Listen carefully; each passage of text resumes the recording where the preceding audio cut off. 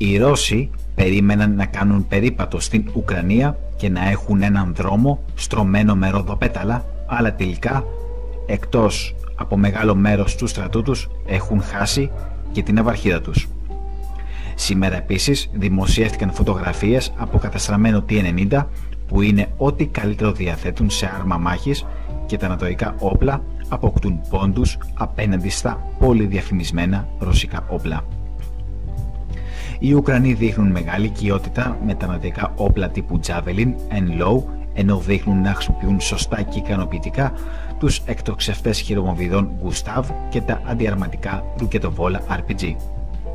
Ο συνδυασμός νατοικών όπλων με την θέληση για την προστασία της πατρίδας τους έχουν βάλει μεγάλα εμπόδια στους Ρώσους. Η προσπάθεια της Ρωσίας στον πόλεμο στην Ουκρανία να ανασχηματίσει τις δυνάμεις της δεν προχωρά προφανώς όπως είχε προγραμματιστεί αρχικά. Γι' αυτό και ο Πούτιν λέει συνεχώς ότι όλα πάνε κατά γράμμα για να κατευνάσει όποιες αντιδράσεις και κριτική εντός της Ρωσίας. Σύμφωνα με τον εκπρόσωπο τύπου του Αμερικανικού Πενταγώνου Τζον Κίρμπι, η πρόοδος στα ανατολικά από τους Ρώσους είναι ακανόνιστη. Έχει παρεμποδιστεί σε μεγάλο βαθμό και καθυστερήσει. Από ό,τι φαίνεται οι Ρώσοι δεν μπορούν να καταφέρουν πολύ μεγάλη επιτυχία στα Ανατολικά.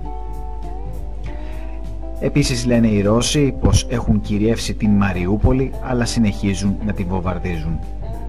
Δεν έχουν επιτύχει πραγματικά κανέναν από τους στρατηγικούς στόχους που έθεσε ο Πούτιν και οι Ουκρανοί αντεπιτίθενται σκληρά, γενναία, έξυπνα και επιδέξια στην περιοχή του Ντονμπάς.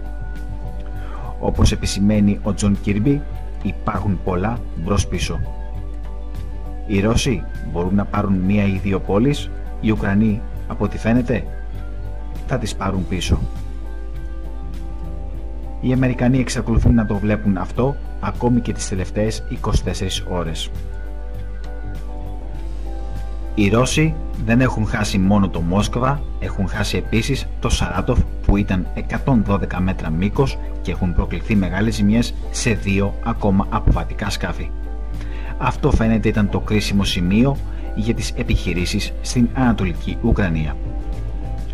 Τα υπόλοιπα πλοία παραμένουν στα ανατολικά της Μαύρης Θάλασσας καθώς υπάρχει φόβος ότι στο τέλος και αυτά θα κάνουν παρέα στο Σαράτοφ και στο Μόσκβα.